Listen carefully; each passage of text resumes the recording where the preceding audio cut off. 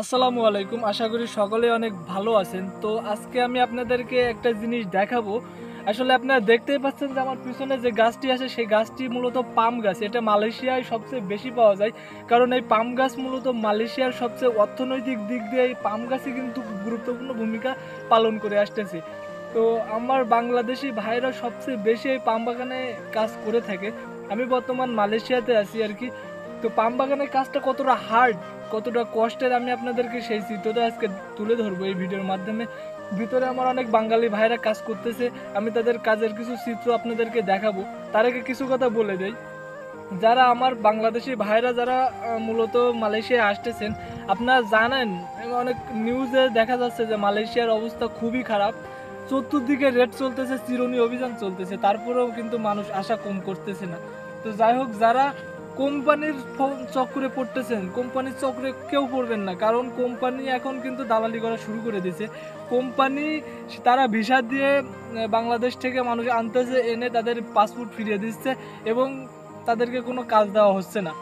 তো অনেকে নিরুপায় হয়ে এরকম কষ্টের কাজে অনেকে আসতেছে জীবনের ঝুঁকি নিয়ে, কারণ এর ভিতরে যে কী পরিমাণ সাপ, সেটা মনে করেন যে যারা কাজ করে তারাই মূলত জানে।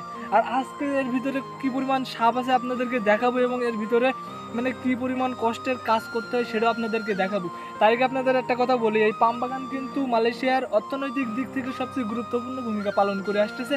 দুই হাজার দুই হাজার সালের আগ থেকে।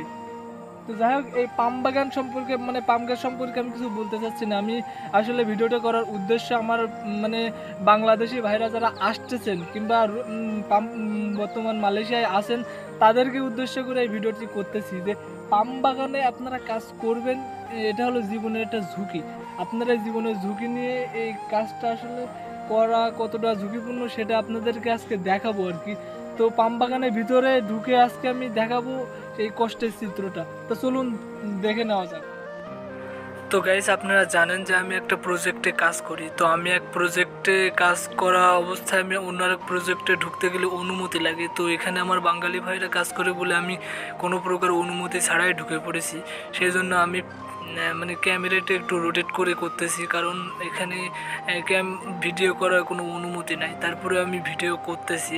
তো যাই হোক, দেখেন আমার এক প্রবাসী ভাই কীভাবে পাম ফলটি কীভাবে উঁচু করতেছে, এটা কিন্তু খুবই ওজন। একটা ফল প্রায় বিশ থেকে তিরিশ কিংবা তিরিশ থেকে চল্লিশ পঞ্চাশ কেজি হয়ে থাকে। তো অন্য এক সাইডে আমার এক প্রবাসী ভাই একসময় ভিডিও করে রাখছিল, দেখেন কি বড় অজগর সাপ। তো এই ধরনের সাপ পাম্পগানের ভিতরে মনে করেন যে অহরহর থাকে। এই যে তারপরে অনেক সাপ আছে যেগুলো আমরা নামও জানি না। তবে এগুলো আর আমার প্রবাসী ভাইরা দেখেন কীভাবে পাম্প তারা এর ভিতরে কিন্তু কোনো গাড়ি নাই। এই যে যেটা ব্যবহার করে সেটার নাম হলো ক্রেতা। দেখেন কীভাবে জীবনের ঝুঁকি। তো একটা একটা ফল তারা যে গাড়িতে লোড দেয়, এই যে কষ্ট, সেটা মানে কি বলব তার কথা? তো একটা একটা ফল দেখেন, এরা কীভাবে গাড়িতে লোড দিচ্ছে। এক এক একটা ফল প্রায় সত্তর, আশি, এমনকি পঞ্চাশ, ষাট কেজিরও ওজন হয়ে থাকে। যেগুলো ছোট, সেগুলো বিশ থেকে তিরিশ কেজি।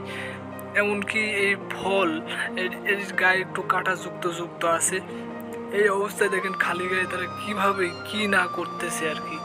তো এটা মূলত সম্পূর্ণ পরিস্থিতির শিকার হয়ে। কারণ মানুষ পরিস্থিতির শিকার না হইলে এত বড় ঝুঁকিপূর্ণ কাজ দেখেন কীভাবে করতেছে।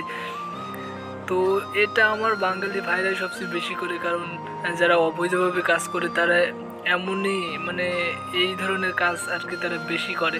তো তো গাইজ আমি আশা করি আপনাদেরকে পুরো চিত্রটা তুলে ধরেছি, এমনি বোঝাতে সক্ষম হয়েছি। আর এরকম ভিডিও পেতে আমাদের চ্যানেলটা অবশ্যই অবশ্যই সাবস্ক্রাইব করে রাখবেন। ভিডিওটি আজকে এ পর্যন্ত। কি সবাই ভালো থাকবেন, সুস্থ থাকবেন। আল্লাহ হাফিজ।